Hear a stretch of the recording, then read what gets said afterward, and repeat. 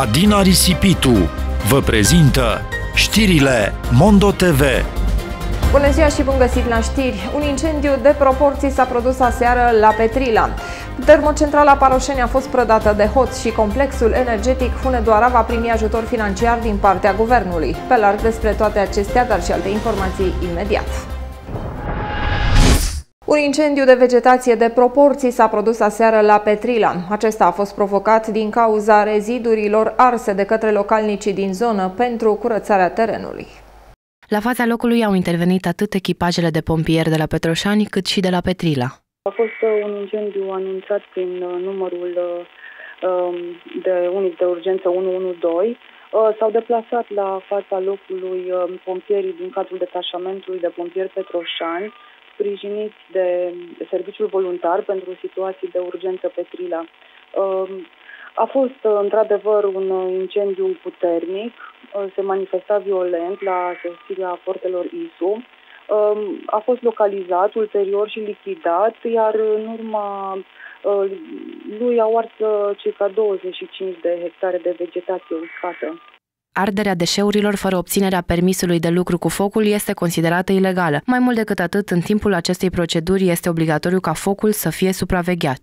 Arderea resturilor vegetale, a gunoaielor uh, sau altor materiale combustibile uh, trebuie să se facă doar, cu, uh, doar după obținerea permisului de lucru cu foc și Uh, de asemenea să se asigure măsuri pentru împiedicarea propagării focului în uh, vecinătăți sau chiar la locuințe.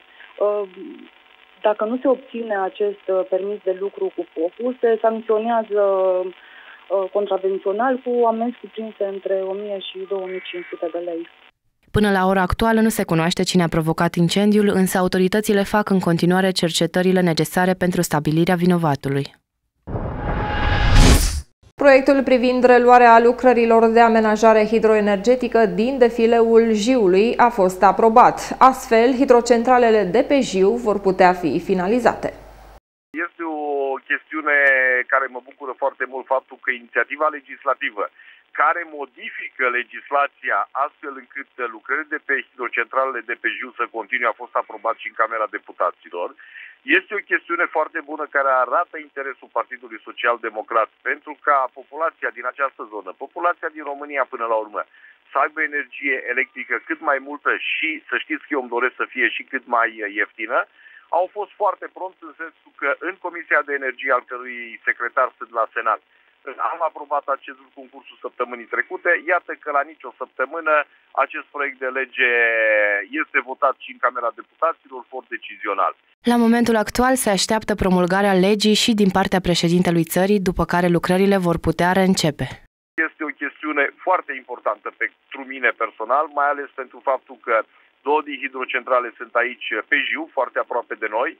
Vreau să vă spun că ele vor începe să producă undeva peste un an de zile, să nu se aștepte nimeni ca mâine sau poi mâine ele să producă, deși lucrările sunt începute și aproape finalizate, sunt finalizate în proporție de peste 90%. Mai există însă lucrări care trebuie făcute, mai există lucrări care trebuie făcute să și uh, refacă ceea ce s-a discutat în acești ani în care lucrările au fost oprite, dar până la urmă să știți că este un lucru foarte bun care se întâmplă la noi în zonă, mai ales în contextul actual cu creștere explozive de prețuri la energie, la gaz, la tot ce înseamnă astfel de, de produse. Peste 80 de metri de țeavă din conducta care transportă cenușă de la termocentrala Paroșeni la depozitul de zgură de la Căprișoara au fost sustrași. Hoții au acționat pe timp de noapte și au avut un plan ca în filme. Toată acțiunea s-a petrecut weekendul trecut când hoții au blocat accesul în zona de unde au furat materialele cu ajutorul unui copac pe care l-au tăiat și l-au poziționat pe tronson.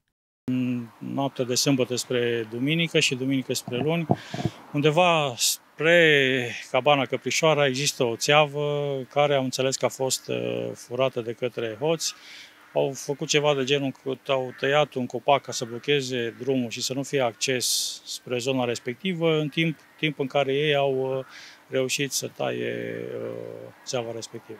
S-a anunțat poliția, s-a calculat uh, prejudiciul, urmează să sper să găsească pe cei care au făcut lucrul ăsta și să nu se mai întâmple niciodată așa ceva, pentru că ne creează prejudicii mari tot ceea ce fac hoții după ce că suntem săraci și abia avem piese pentru desfășurarea activității de zi cu zi, când le mai și fură, suferim și mai mult.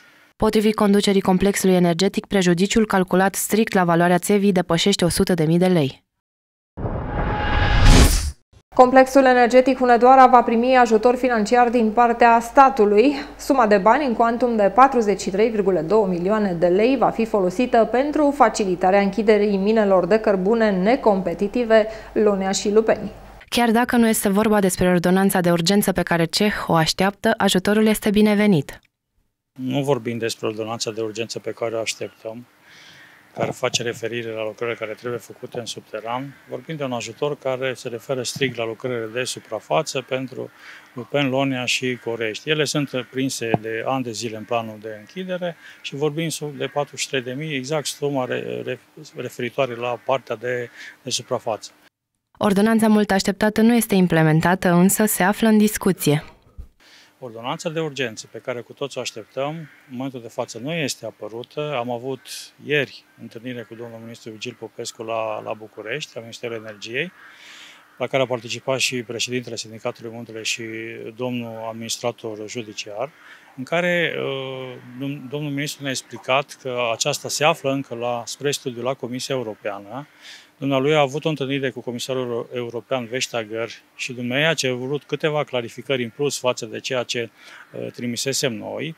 Iar săptămâna viitoare, marți, pe 29 martie, urmează să mai aibă o întâlnire domnul ministru cu doamna comisar european la, la Praga, să discute încă o dată pe ordonanța respectivă și să sperăm să fie ultima discuție și să avem vești bune și să putem să avem ordonanța de urgență într-o hotărâre de guvern uh, aplicabilă pentru tot ceea ce înseamnă viitorul în Valea Jilului pentru următorii ani. Vorbim și de ceea ce înseamnă uh, subteran, vorbim și de plata salariilor și absolut tot ceea ce există. Deci sunt două lucruri uh, separate, ceea ce a apărut și ceea ce va urma să apară, sper eu, într-un timp foarte scurt.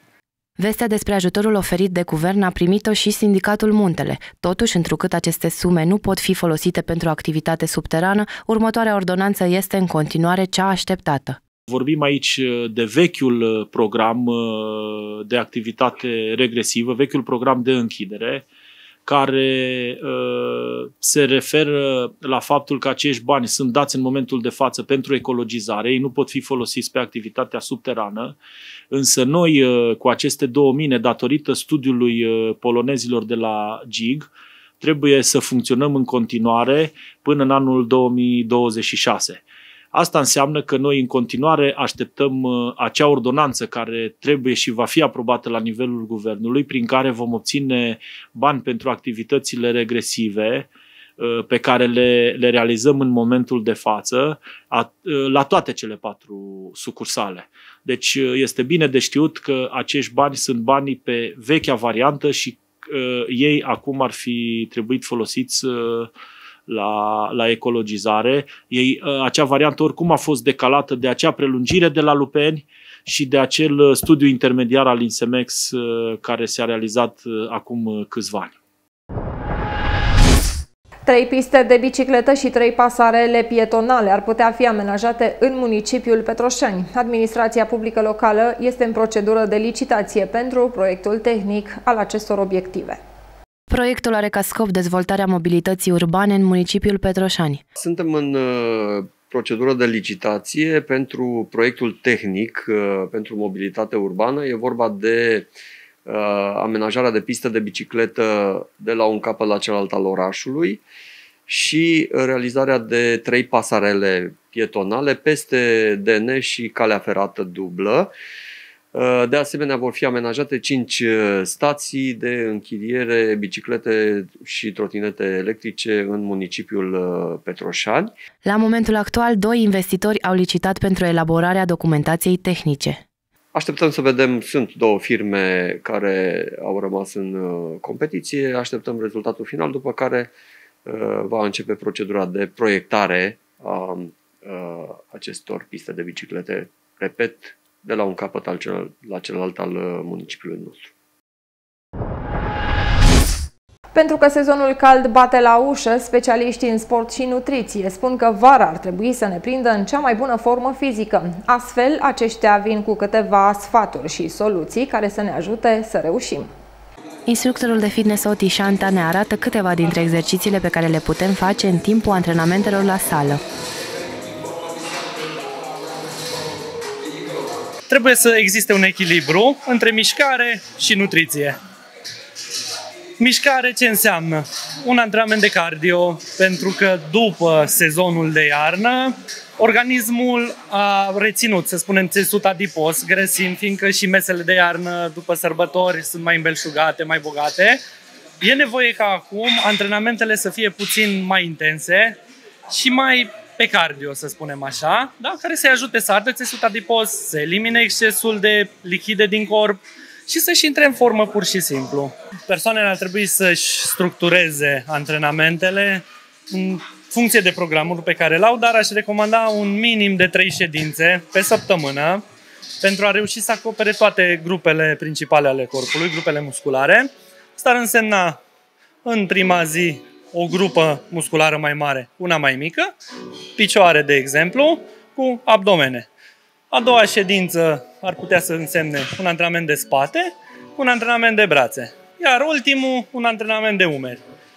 În felul acesta, un antrenament ar trebui să fie structurat, să înceapă cu o încălzire adecvată, stretching, o alergare, după care exercițiile specifice fiecarei grupe musculare, iar la sfârșit să termine la fel cu un exercițiu de cardio, indiferent că e alergare, stepper sau bicicletă. Pe lângă mișcare, grija la alimentație este extrem de importantă, iar atunci când dorim să scăpăm de kilogramele în plus, aceste două elemente ar trebui să fie în echilibru. Alimentația, da, este extrem de importantă um, și aș începe prin reducerea cantității de mâncare. Um, stabilirea uh, a trei mese pe zi. Aceste recomandări țin neapărat să precizez, sunt pentru oamenii sănătoși care nu suferă de niciun, uh, nicio patologie. Deci, trei mese pe zi sau, pentru cei care pot, două mese și o gustare. Uh, vine primăvara, să sperăm. Uh, apar uh, legumele, apar uh, frunzele verzi, spanac, salată. Uh, foarte important să le includem la fiecare masă, împreună cu o proteină, care poate să fie de origine animală, poate să fie de origine vegetală. Uh, în locul carbohidrații, nu, în locul. Carbohidrații sunt importanți. Dacă sunt carbohidrații de uh, calitate, adică integrali, și dacă sunt consumați cu măsură. Uh, dar ar fi uh, ideal să consumăm carbohidrații dimineața sau la prânz, iar seara să fie constituită din legume împreună cu uh, o proteină.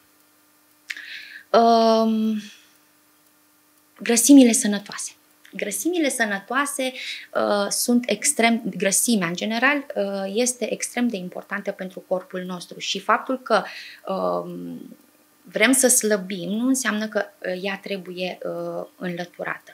Dar ce înțelegem prin grăsime uh, sănătoasă? Înțelegem o linguriță de ulei de măsline extra virgin sau uh, două, trei nuci sau migdale sau uh, avocado, dar cantitățile fac diferența. Deci, deși sunt niște alimente extrem de sănătoase, în același timp sunt niște uh, alimente extrem de bogate caloric. Deci, trebuie să le consumăm cu, cu moderație și cu, cu atenție. Reușita într-un regim este asigurată și de alți doi factori. În primul rând este esențială hidratarea, însemnând consumul zilnic de minim 2 litri de apă, iar în al doilea rând odihna, fiind necesare între 7-8 ore de somn pe noapte. La fel de important este faptul că ultima masă nu trebuie să depășească ora 19, pentru că organismul nostru are nevoie de uh, timp pentru a digera și astfel ne legăm de uh, factorul cu care am început odihna. Dacă noi ultima masă este la ora 19 până la ora 10-11 când uh, ne culcăm, uh, stomacul a digerat, iar odihna este una de, de calitate. Doamnelor și domnilor, acestea au fost știrile Mondo TV. Rămâneți în continuare cu informațiile despre vreme. Să aveți o seară cât mai bună!